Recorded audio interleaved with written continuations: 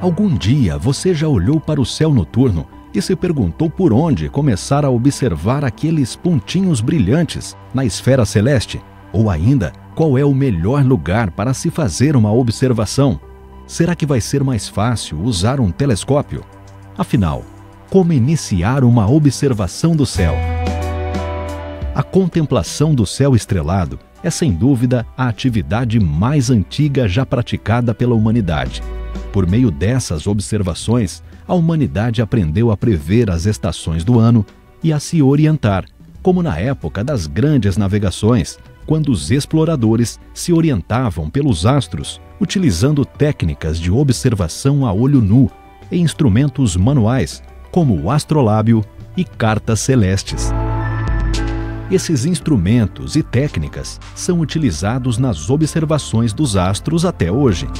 Mas atualmente a poluição luminosa gerada pelas cidades causam algumas dificuldades na observação do céu noturno ela provoca um ofuscamento dos astros, prejudicando a observação de grande parte das estrelas. Por isso, é importante escolher um local que possua pouca ou nenhuma poluição luminosa. Além disso, a melhor época para realizar observações é durante o inverno, pois os dias frios e secos geralmente favorecem um céu mais limpo. A localização dos horizontes leste e oeste norte e sul também é importante para identificarmos os astros.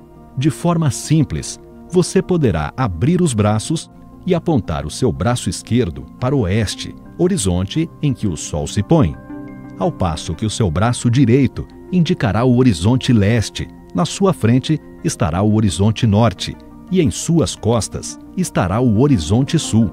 Esta é uma maneira de encontrar as direções cardeais sem a necessidade de muita precisão.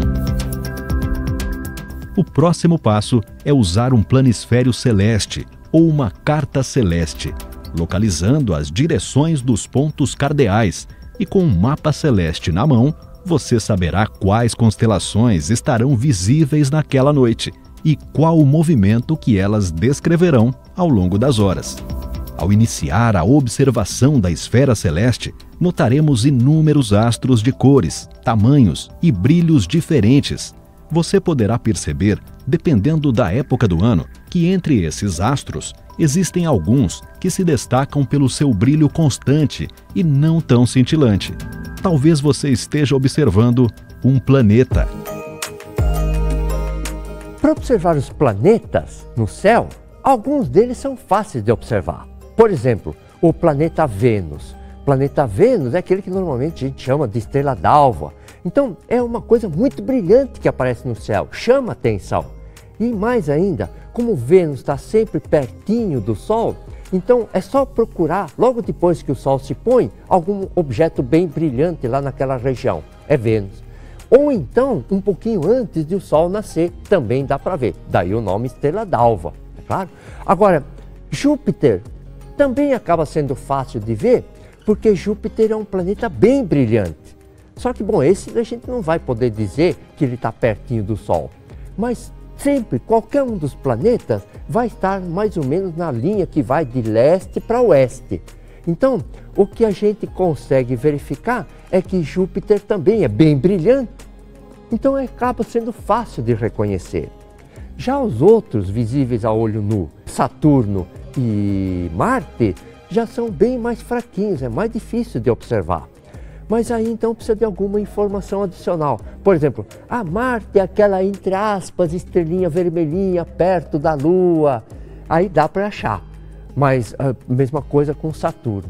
Mercúrio, que também dá para ver a olho nu, esse é muito difícil de se observar, porque, em primeiro lugar, ele vai estar sempre muito pertinho do Sol, e como ele é muito fraquinho, aí só realmente sabendo onde está e ele é meio perigoso de ser observado por causa da proximidade com o Sol.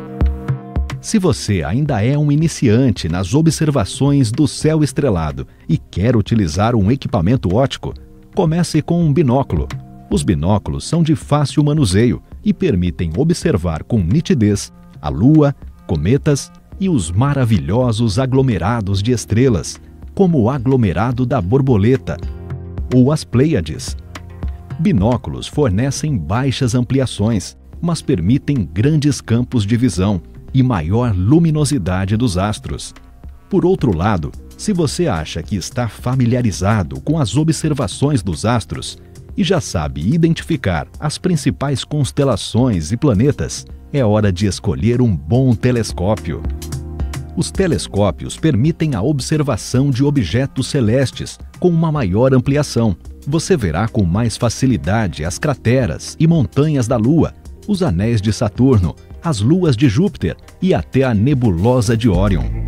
Porém, devido às grandes ampliações que um telescópio fornece, as imagens dos astros não aparecerão tão luminosas quanto nos binóculos, e o seu campo de visão fica bem menor. Por isso, é mais difícil apontar o tubo de um telescópio em direção ao astro desejado, o que exige maior paciência do que o uso de um binóculo. Mas se você não tem um telescópio ou binóculo, não tem problema. Basta iniciar com as observações a olho nu e começar a se familiarizar com os padrões das constelações da esfera celeste. Agora que você já aprendeu algumas dicas, que tal iniciar uma observação do céu estrelado?